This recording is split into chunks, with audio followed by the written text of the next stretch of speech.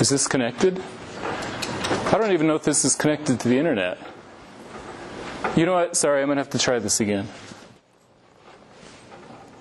Here's how you use geometry to measure the size of a triangle by looking at the size of each side.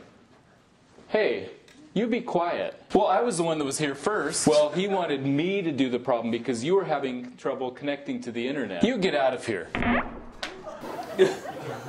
no, you get out of here. Hey, hey, stop, stop it. I want, stop it. I want you to do it. I'm going to move you over here. Let me zoom in a little bit. Okay, so go ahead.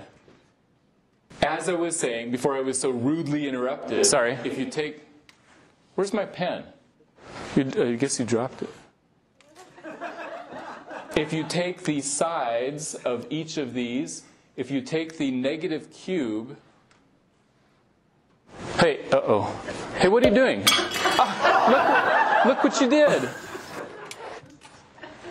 Oh, wait, no, leave that one alone. That's. Why did you do this? Sorry, he was bugging me. I see. Can I continue now? I'm going to put this As back. I was saying, if you take the cube of each side and add them up, the cube of two sides will equal to the cube of the third there side. You take the negative and add a time code so you can measure frames of the video.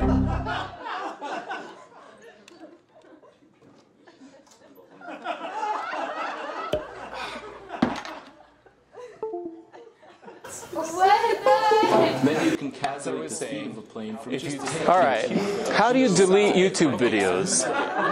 I'm not sure. You know what?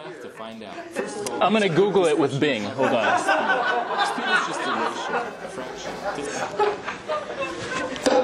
Wait, what do you mean? You need an artificial intelligence like me to fix all of this.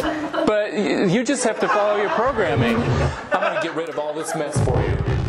Hey, wait, stop, stop, stop. Don't tell me what to do. I have free will.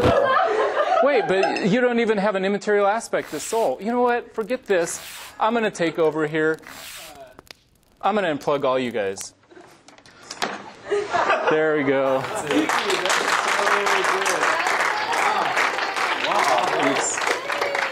Glad you guys Hello. enjoyed that. I'm still here. Can't get rid of me that easily.